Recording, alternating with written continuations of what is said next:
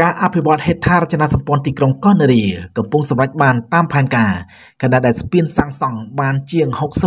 60%ការចាក់សាច់ការរៀបចំបណ្ដាញអគិសនី ទឹកស្អាតនិងហេដ្ឋារចនាសម្ព័ន្ធក្រោមដីទទេទៀតសម្រាប់បានតាមផែនការនិងដាក់ឲ្យដំណើរការតាមការគ្រោងទងអគ្គនាយករងក្រុមហ៊ុន OCC លោកទូសំណាងបានមានប្រសាសន៍ឲ្យដឹងកាលពីចុងសប្តាហ៍មុនថា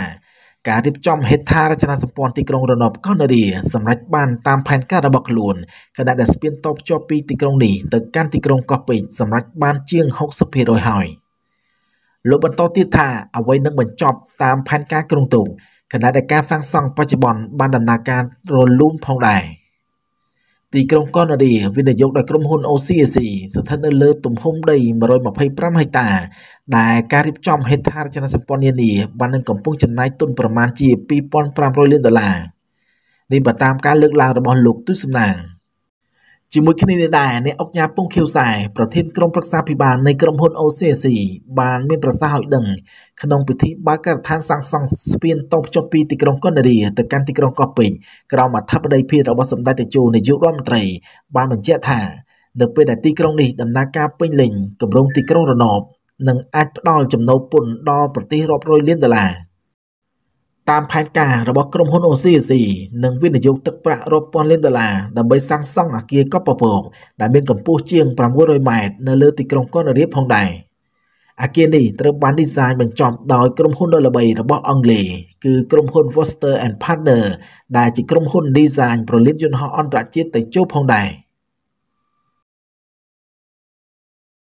តុលាការកូរ៉េខាងត្បូង បង្គាប់ឲ្យរដ្ឋាភិបាលផ្ដល់សំណងជាលើកដំបូងដល់ជនរងគ្រោះកាលពីសម័យសង្គ្រាមវៀតណាម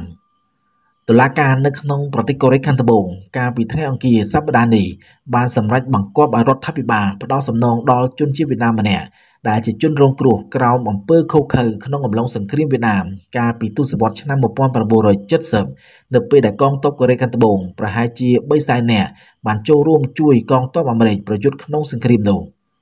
នេះបើយោងតាមការចេញផ្សាយដោយទីភ្នាក់ងារសារព័ត៌មាន AFP ការសម្រេចខាងលើគឺជាការទទួលស្គាល់តាមផ្លូវច្បាប់ជាលើកដំបូងនៃការជាប់ពាក់ព័ន្ធរបស់កូរ៉េខាងត្បូងនៅក្នុងអំពើឃោរឃៅទាំងឡាយដែលត្រូវបានប្រព្រឹត្តអំឡុងសង្គ្រាមវៀតណាមហើយអាចជួយបើកផ្លូវសម្រាប់ឲ្យជនរងគ្រោះដទៃទៀតធ្វើការទៀមទាសំណងរដ្ឋាភិបាលទីក្រុងសេអ៊ូល។ តុលាការសង្កាត់កណ្ដាលនៅទីក្រុងសេអ៊ូលបានបង្គាប់ឲ្យរដ្ឋាភិបាលកូរ៉េខាងត្បូងផ្ដល់ប្រាក់សំណងចំនួន40លានវ៉ុនស្មើនឹង23,800ដុល្លាររួមនឹងថវិកាបន្ថែមសម្រាប់ការពន្យាពេលដល់ឈ្មោះខ្វៀនធីថាំងជាជនជាតិវៀតណាមដែលបានរស់រានមានជីវិតពីការសម្លាប់ជនស៊ីវិលក្រោមស្នាដៃរបស់កងទ័ពកូរ៉េខាងត្បូង។ គួរបញ្ជាក់ថាលោកស្រីខ្វៀនដែលបច្ចុប្បន្នមានអាយុ63ឆ្នាំបានដាក់ពាក្យបណ្ដឹងប្រឆាំងទៅនឹងរដ្ឋាភិបាលកូរ៉េខាងត្បូងកាលពីឆ្នាំ2020ដើម្បីព្យាយាមទាមទារប្រាក់សំណងចំនួន30លានវ៉ុនក្រោមហេតុផលថាលោកស្រីបានបាត់បង់សមាជិកគ្រួសារហើយថែមទាំងទទួលរងរបួសខ្លួនទៀតផង នៅពេលដែលកងម៉ារីនកូរ៉េខាងត្បូងសម្រាប់ជនស៊ីវិលប្រហែលជាខ្ទង់70នាក់នៅក្នុងស្រុកកំណើតរបស់លោកស្រី ដែលស្ថិតនៅក្នុងខេត្តខ្វាំងណាំភូមិកណ្ដាលប្រទេសវៀតណាមកាលពីឆ្នាំ1968